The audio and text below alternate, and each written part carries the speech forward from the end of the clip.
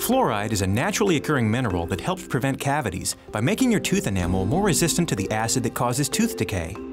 Products containing fluoride work in two ways.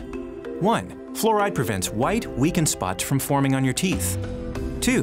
Fluoride protects teeth and helps rebuild weakened tooth enamel.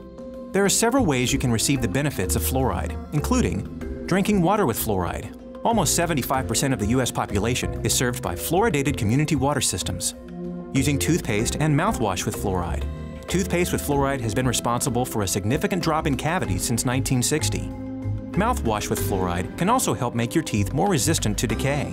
And finally, professional application. If you are at high risk for cavities, your dental professional can apply a gel, foam, or rinse during your dental visit. This oral care tip brought to you by Crest. Healthy and beautiful smiles start here.